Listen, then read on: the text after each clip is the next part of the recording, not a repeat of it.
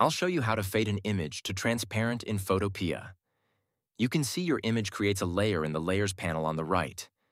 We need to create a layer mask for the image layer. Make sure the layer is selected. Then click Add Mask. Now you'll see that a layer mask has been created for the image. Before moving on, ensure the mask is selected, not the image itself.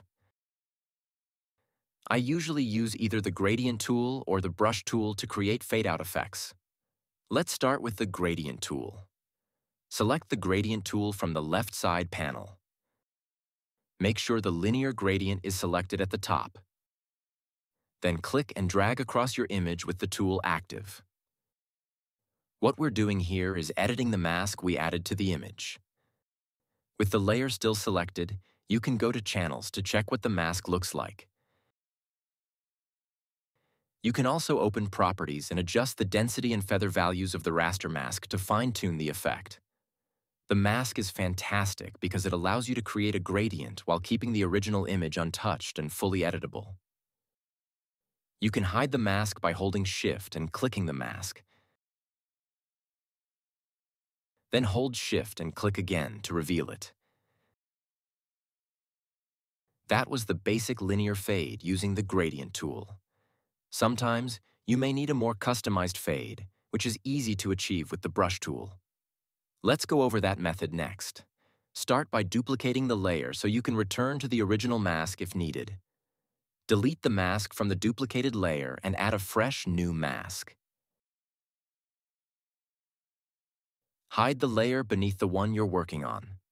Next, select the Brush tool from the left menu. Choose a soft brush, make it large, and set the hardness to zero for a subtle fade.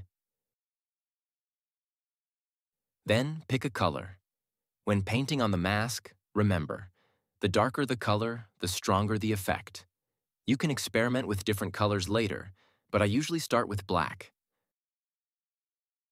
Before painting, check the Layers panel on the right to ensure the mask is selected. Then, click and drag on the canvas to create the fade.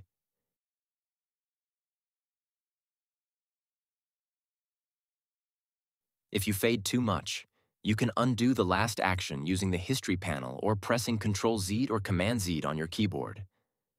You can also switch the color to white to reshape or soften the fade. For a really subtle effect, try using a light gray color instead of black. You'll notice the difference compared to the fade created with black.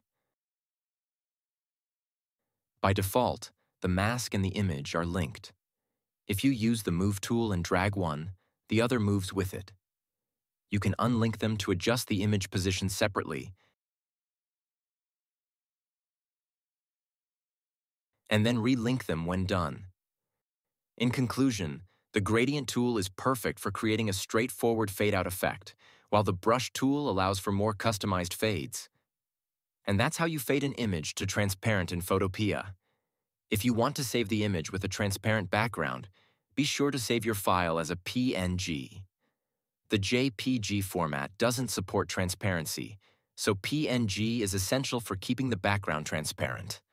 Like and subscribe for more tutorials. Thanks for watching.